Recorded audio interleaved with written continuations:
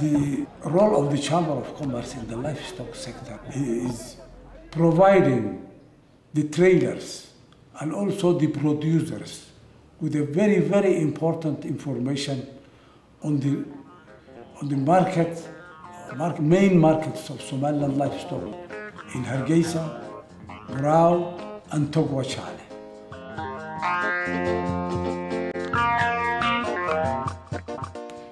We have got brokers in the, in the market who supply the price of that day for different grades of livestock. And then those prices are fed in the database at the chamber center, which is for diffusion.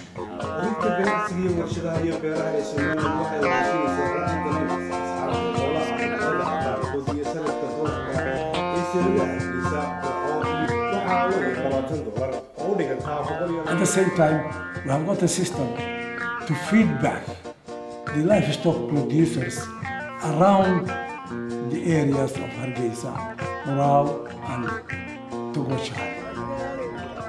Slips are distributed to dri- truck drivers who take these slips showing the prices of the livestock and also the main food stuff to the producers in the interior and facilitates them to market their livestock easily.